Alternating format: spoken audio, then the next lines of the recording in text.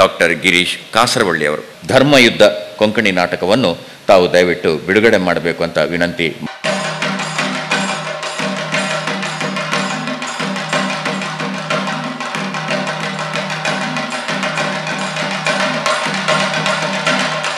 ಪ್ರಶ್ನೆ. ಈ ಕೃತಿಯನ್ನು ಈಗ ಟಿ ಎಸ್ ನಾಗಾಭರಣ ಸರ್ ಅವರು ಬಿಡುಗಡೆಗೊಳಿಸ್ತಾರೆ.